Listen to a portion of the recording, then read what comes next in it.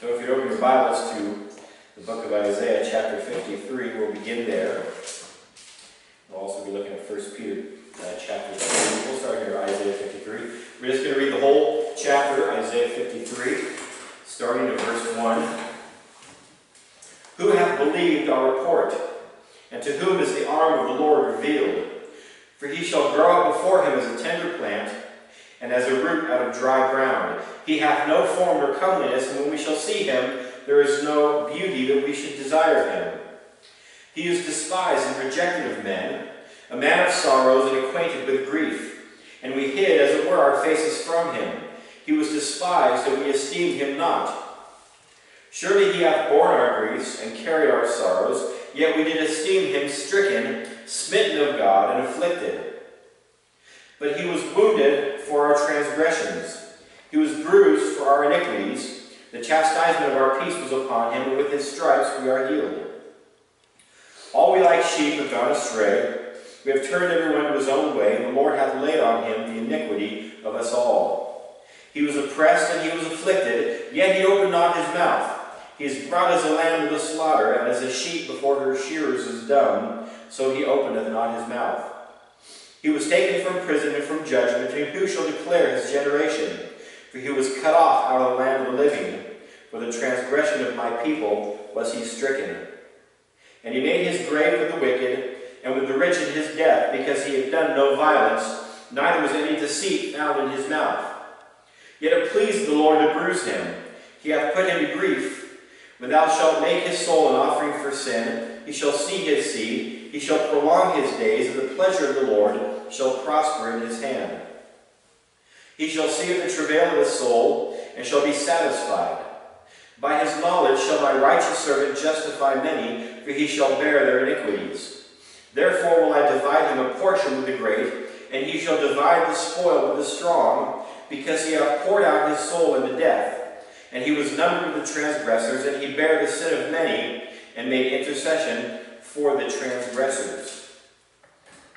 Now, what I want to particularly remember here, and of course, this is one of the uh, Old Testament, one of the most wonderful prophecies of the coming Christ, both of who he is, how he'll grow, who he'll be, as well as his death and the purpose of his death. And I want you to particularly remember here in verse 12, it says that he bare the sin of many and made intercession for the transgressors. He bare the sin of many. Now turn over, if you would please, to 1 Peter, toward the back of the Bible, right after the books of Hebrews and James. Hebrews and James. 1 Peter, chapter 2.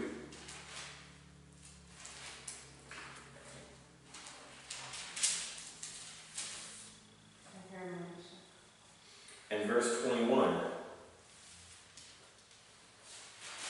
1 Peter chapter 2, whoops, I'm in 2 Peter.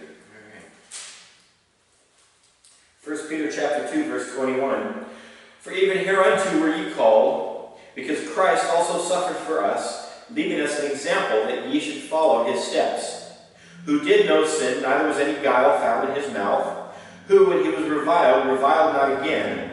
When he suffered, he threatened not, but committed himself to him that judgeth rightly, righteously who his own self bare our sins in his own body on the tree, that we, being dead to sins, should live unto righteousness, by whose stripes you were healed. So here in verse 24, it says here, who his, who his own self bare our sins in his own body on the tree, that we, being dead to sin, should live unto righteousness, by whose stripes we were healed. So the one thing I want to have us remember as we go into this lesson are those two verses where it speaks that Jesus bore our sins.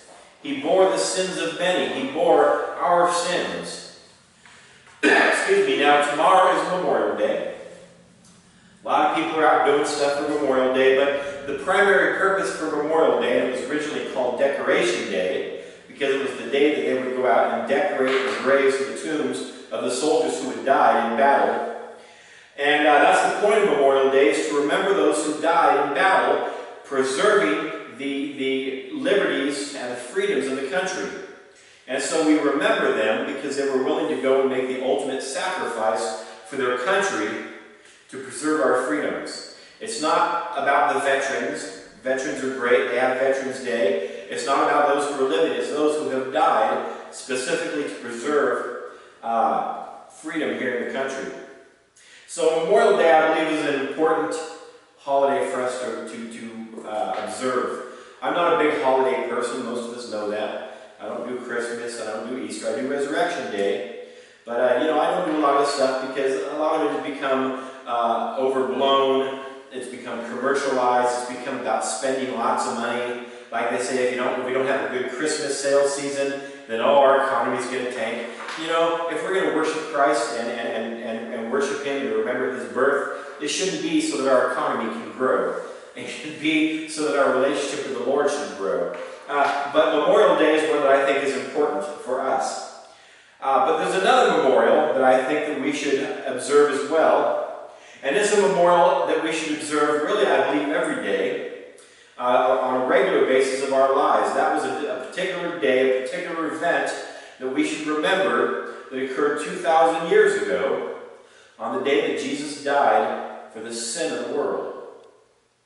And that's a very important memorial. Sometimes we, oh, okay, we'll, we'll, we'll talk about that come Easter. Okay? Yeah, we'll remember it one time a year. No, we should remember it every day. In fact, the whole reason why we have services on Sunday, on the first day of the week, is as a continual memorial to his resurrection. That's why he was resurrected on a Sunday, on the first day of the week. So we have service and meet every first day of the week so that we can remember that resurrection. So we should remember on a regular basis his death and his burial as well, because it was his death and burial and taking our sins upon him that gave us true spiritual liberty. Now, when we think about the crucifixion of Christ, we have a tendency to just think of it as just a moment in time. Okay, okay, well that was that was 2,000 years ago. You know, why, why are we worried about it? 2,000 years ago. It was just a one-time thing, just a one-day event that occurred. Why do we make such a big deal out of it? Well, we have to remember that uh, God does uh, God lives outside of time.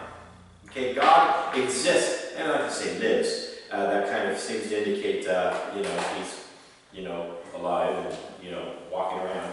But but he exists out of time.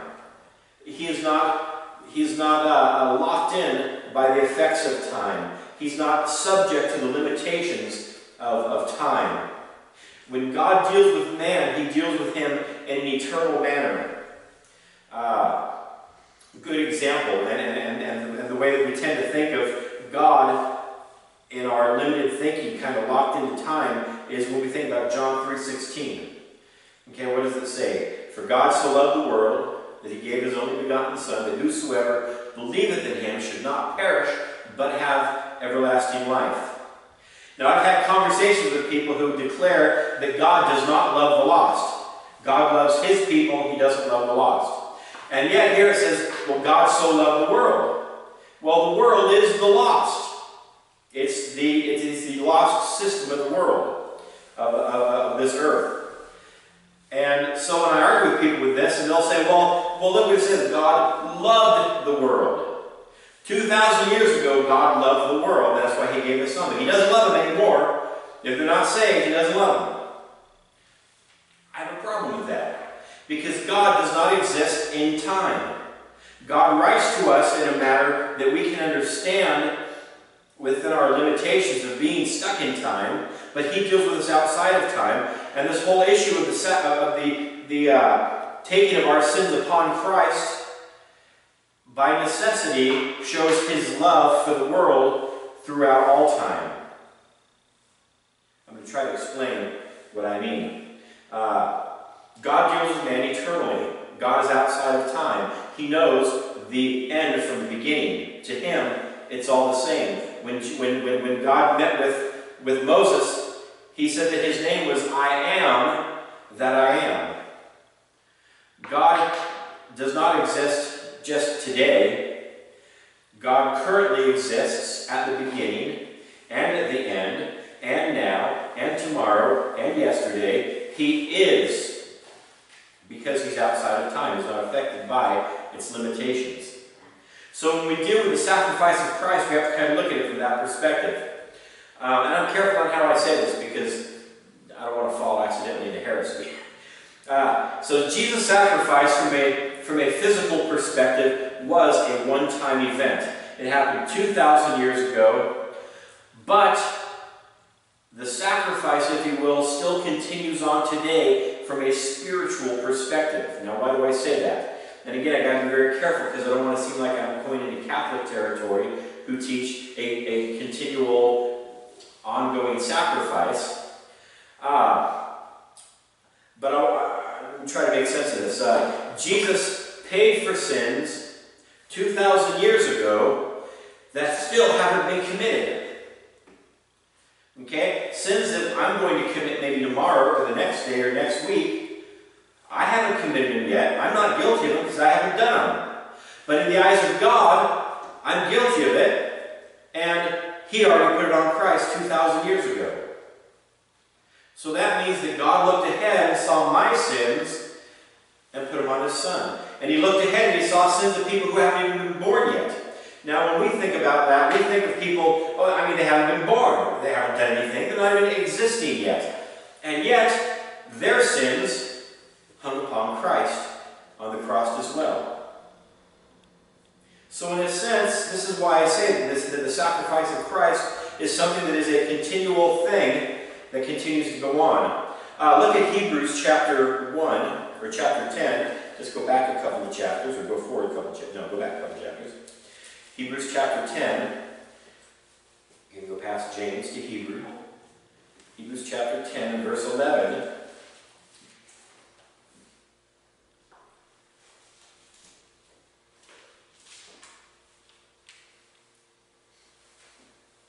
In Hebrews chapter 10, verse 11 says, And every priest standeth daily, ministering and offering oftentimes the same sacrifices, which can never take away sins.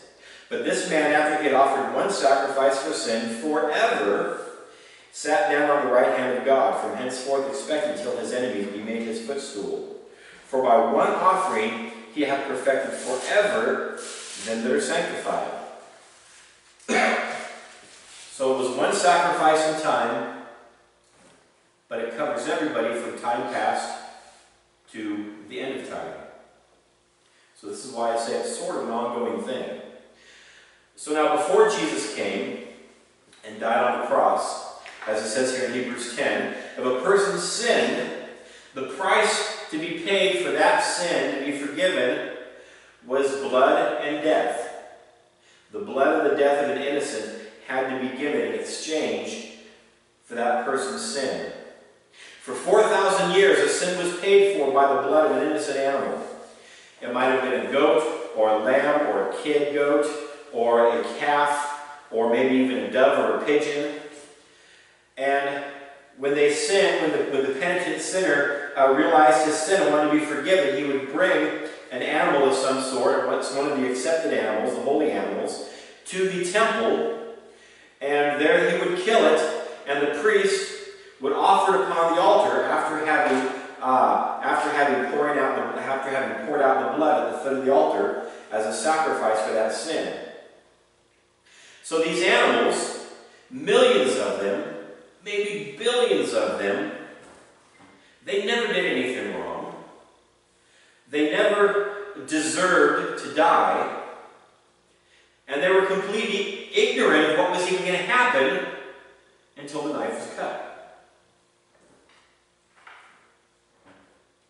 But because sin is so evil, because it is so deserving of everlasting death, because it is so deserving of damnation, a terrible price was made to be paid to pay for that sin, to remind each person of the wickedness of sin. It was an ugly thing, and there was an ugly price to be paid for it. Now, when Jesus came and he died for us, unlike all these animals, he was a willing sacrifice. He was an intentional sacrifice. And he was also a perfect sacrifice. All those animal sacrifices, they were innocent. They, they had done no wrong, so their blood was pure, and yet Jesus was perfect in that being human, he had the potential to do wrong, but did not do wrong. So he was perfect. So his sacrifice was better than all those that were before. And it, and it was given as a single sacrifice for all time. A sacrifice that would span the ages before and after and pay the price for all sin of all men. And that means the effectiveness of that sacrifice 2,000 years ago is ongoing today and will continue to be so until the very end of the last person who was born on earth. Now, again, I'm not saying that Jesus is somehow still crucified, that somehow uh, there's multiple sacrifices, again, like the Catholics believe or some others. Uh, just in a sense, from our perspective, that sacrifice goes on. The effectiveness of it still goes on. Each sin that I have yet to do, I'm not guilty of it yet because I haven't done it. In the eyes of God, I'm guilty because He's already seen all my sin. He was there when I, when I sinned in the future. And so all of those things have already been paid for. And that means that every wicked person who will exist from this time on, as we talked about with John 3.16, God loves them because he went ahead in time, or was ahead in time, saw their sins, and placed them on his son as well, out of his love. When, uh, a couple days ago, I was listening to a song, and uh, it, the, the, the song is about how our sins, how, how my sins put Christ on the cross. It was my sins that put him there. And one of the lyrics is it says, uh, When Jesus looked down from the cross, he saw my face, as though I was there. And it really got me thinking about this. It got me thinking about the very personal nature of my sin. You know, we can think about sin kind of as a bulk deal. Okay, here's a big load of sin, put on Jesus, and then we're good now. But when Jesus hung on the cross, did he in some divine manner, consider me personally and my personal sins. Were, were my sins like each had a label on them saying, This is Mike Reed's sin, this is Mike Reed's lust, this is Mike Reed's uh, uh, uh, pride, this is Mike Reed's anger, this is Mike Reed's lying. And somehow, that, I mean, I, am trying to understand it in a, in a human manner, and, and it's really far beyond that. Yet somehow my sins that I've committed and yet will commit in the mind of God are identified as my sins. There is no hiding from them. They're my personal sins. Just as your sins, Debbie, are your personal sins, and Delia's sins are her personal sins. And everybody, and then they're all personally identified to us when they were placed on Christ. So when I was thinking about this, I was, I was, I was kind of trying to figure out you know, obviously this is imperfect, and I'm trying to figure out how, how that could work. So I was kind of imagining something, and, and now don't think I'm not, I'm not, I didn't have a vision, okay? God didn't take me out of my body and give me a vision of something. It's just my own imagination. I got a pretty strong imagination. So as I was thinking about it, I was thinking, I, I imagined this line. Well, first I imagined there's Christ on the cross. And standing next to Christ on the cross is God the Father. And next to God the Father is a line of people spanning out just as far as the eye can see. can't even see the end because there's so many people. And each person has a bag in their hand. And some of the bags are great big bags, and some of the bags are a little bit smaller. But everybody's got a bag. And I can see even I'm there. And Delia's there, and you're there, and, and my parents are there and, and there's famous people there, and there's infamous people there. There's all kinds of people because this is everybody that's ever lived. Adam and Eve are right there at the front of the line with their bags, and everybody behind them. Each bag has their name on it.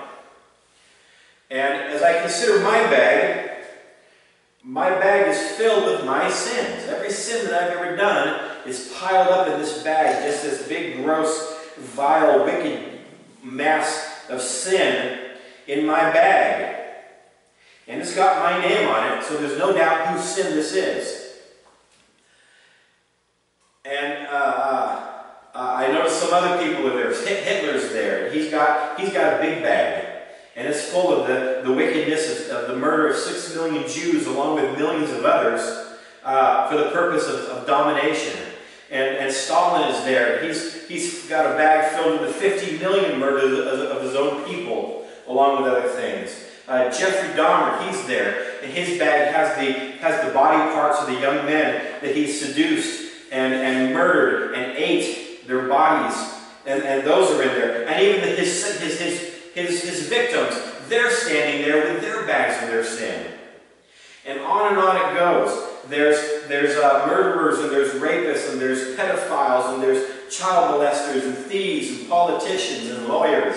And, but, I mean, the good and the bad. Everybody is there that's ever lived. Maybe 10 billion people, they estimate, is how many people up to this point have lived on earth.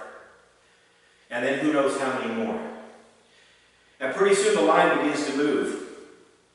And as each person comes, God the Father takes from their hands the bag. And he looks at that person with great love and then takes the bag and empties it on Jesus. And then they go on. And then the next person comes and he empties the bag onto Jesus.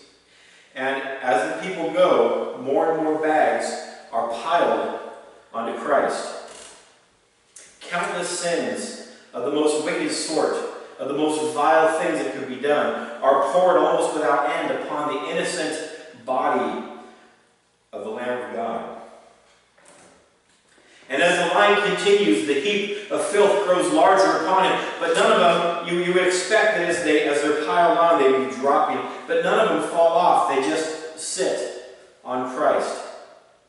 And it becomes larger and, and, and almost impossible looking, and yet he bears each one. And when finally, after what seems an eternity, the last person comes, and Jesus empties those sins upon him, and then when the last person is gone, Jesus reaches, or God reaches down and picks up a copy of the law, the law of Moses, and he nails it to the cross. And as soon as the Father does this, Jesus looks at his Father and he says, It is finished! And he dies. And as I imagine this happen, all of that wickedness disappeared. It was gone. And left in its place was a little sign that said paid in full. When John the Baptist saw Jesus after he came back from his 40 days of, of, of, of uh, temptation in the wilderness, he pointed to Jesus, to his disciples, and he said, Behold, the Lamb of God that taketh away the sin of the world. When Jesus died, he took away all the sin of all the world for all time. All the sins of every person, every individual, was paid for by Jesus Christ. He bore all of them on the cross. Now, that doesn't mean everybody is saved, or that everybody will be, because even though the sins are paid for, that payment must be applied, and it must be applied by faith of that person. When we believe on Jesus Christ and the sacrifice He made for us on the cross, and we come to Him and call upon Him and repent of our sins, that that moment we are born again, and that payment is applied to our account once and for all time. So this Memorial Day, yes, remember the sacrifice of those men and women who paid the ultimate price in battle for our freedoms. But even more importantly, let's remember the Savior. Let's memorialize that which He did for us when He knowingly, willingly died for each and every one of us so that we might have eternal freedom. Something beyond the liberties we have here in this world, that will last into the next life. A reservation in glory, liberty from death, liberty from hell, and salvation from sin. Let's remember what Christ did for us this Memorial Day. Let's pray.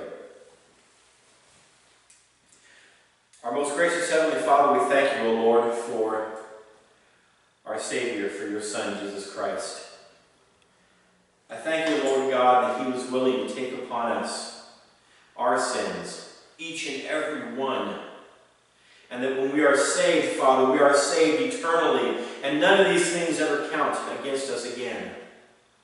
But Lord God, let us not use that as a reason to sin. Let us not use that as a reason to do as we please, Father, but rather let us remember the great sacrifice that He made for us and live a life of sacrifice dedicated to Him, Father, because we can never give Him enough to pay Him back for what He did for us.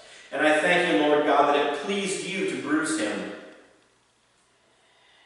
Because if it didn't please you to do so, Father, for your love for your, for your creation, Lord, we would have had no hope. But Father, you loved us, and you love us. And each and every person who is yet to come, Father, and everyone who's ever lived, you love us. We don't deserve it. But you made a way for us, Father, to come back to you. And I pray, oh God, that we would have a, a great desire, Lord God, to, to, to, to be so pleased, Father, for what you have done for us. Lord, that we just can't help but to share it with others. And I pray, Lord God, that you would open opportunities for us, Father, to speak to the lost, to speak to others who are, who are struggling, Lord God, who need Jesus Christ and his salvation, Father. And I pray, oh Lord, that you would make us bold and make us willing and make us pleased to speak of him to others. Lord, I just, I just thank you, Father, and I, and, I, and I just pray, Lord, that I would live a life that is more and more pleasing unto you, Father. That I would lay aside all the other weights, all the other things, Father, that don't matter, and, and just direct my mind and my thought and my heart to Thee, Lord. Father, I just pray that you bless each one who's here this morning, Lord. Bring us together tonight, if it be your will. And we just give you all the praise, and we give you all the glory. And we pray it in Jesus' name. Amen.